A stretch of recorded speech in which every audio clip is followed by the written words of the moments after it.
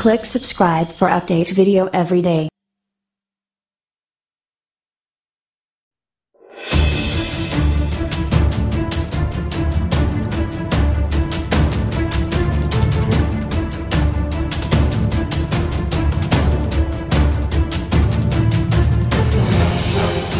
You, how hot should your dip be when you remaking scrambled eggs?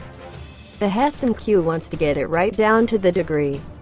Not just medium-low, or is it low-medium?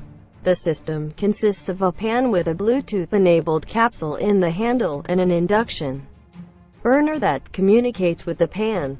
If the pan's surface is too hot or cold, the burner responds accordingly. Using an app, you control the burner as videos of a chef show you each step for making Migas eggs. How does the supposedly foolproof combination of a precisely temperature-controlled burner and pan work when it comes to steak, caramel sauce, and pancakes? Our Hestan Cue review reveals all. U, a 12, 5-inch silver and black disc. The Hestan Cue's burner might look like a futuristic conference call device if it were smaller. It weighs about 4, 5 pounds and has two buttons on either side of a slide control that lets you manually set the temperature. With those dimensions, it likely won't fit in many kitchen cupboards.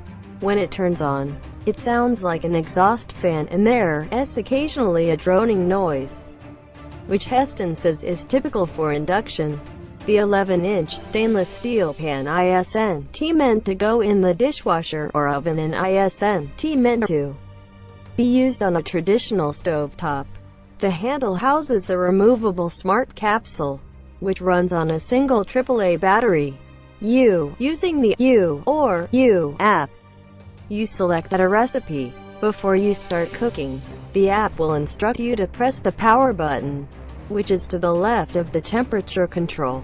Then you press the next button on the other side of the control bar. The pan heats up very fast, typically within a couple of minutes. You, right now, the Hestan Cue teaches users to cook but it instructs them using a very specific recipe set. Let us take scrambled eggs. For example, if you wanted to make them with the system, the closest thing is a recipe for Migas eggs. When we first reviewed the Cue, it meant you had to click through instructions about chopping onions and then wait while the pan thought it was frying sausages. There was no way to skip these steps. A recent app update now allows you to hold the next button to skip a step, especially helpful if you re not waiting for two hours for chicken to marinate. Single quote.